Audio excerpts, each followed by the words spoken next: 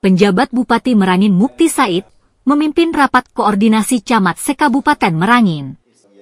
Mukti menekankan beberapa poin yang harus ditindaklanjuti dan disikapi oleh para camat. Rapat koordinasi ini sekaligus perkenalan PJ Bupati Merangin dengan para camat sekabupaten Merangin.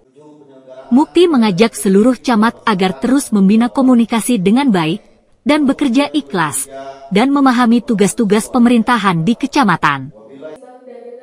Para camat juga ikut berperan aktif dalam menyukseskan proses pemilihan umum, pemilu, dan pilkada serentak tahun 2024 di wilayah masing-masing. PJ Bupati juga mengingatkan para camat terhadap serapan anggaran di kecamatannya masing-masing, agar dana APBD yang sudah dianggarkan terpakai dan tidak mengakibatkan silpa. Mengingat saat ini sudah memasuki triwulan keempat. Jangan sampai sudah besar baru kita urus, ya kan? Jadi kalau ada bibit-bibit itu kita sudah Pak Camat sudah dipantau ya. Nah, nanti akan kita koordinasikan untuk apa namanya terkait turun dulu kan cari data duduk persoalannya apa ya kan jadi itu ya yakinlah pemerintah akan bekerja untuk itu